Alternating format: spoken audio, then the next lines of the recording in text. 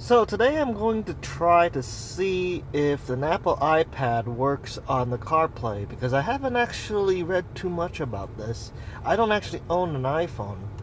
So I do have uh, a Google Pixel and also used to have a Nexus 6P and CarPlay works perfectly fine on this.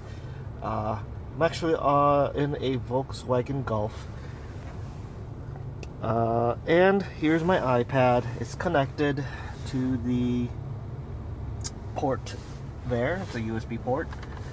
It sees it.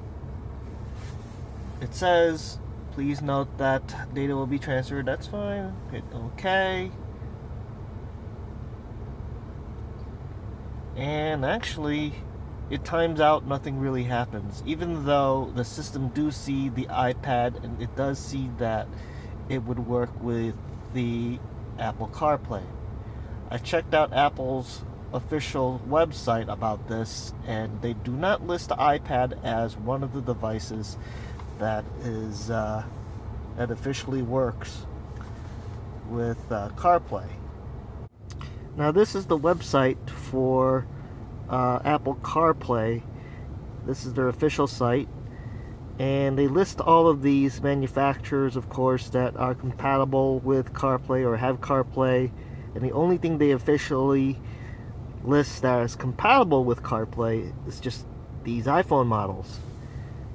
The uh, 5s the 6 6s 7 but they don't list the iPads and, you know, I never really uh, did any search for it for, uh, what do you call, uh, on Google to see if anyone else looked into this. But if you were wondering and you couldn't find the answer, now you know. It is connected. Let me go ahead and disconnect it. I'm going to reconnect it. Maybe it was a bad connection. So let's just try it again. Sorry for the glare.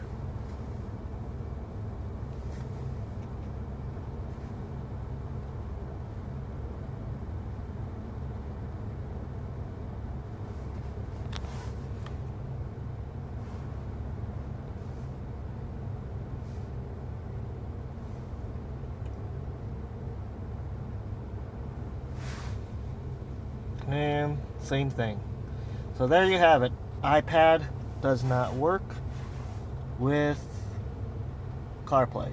And this is the iPad Pro with the latest version of iOS, which is currently, we'll check it out, version 10.2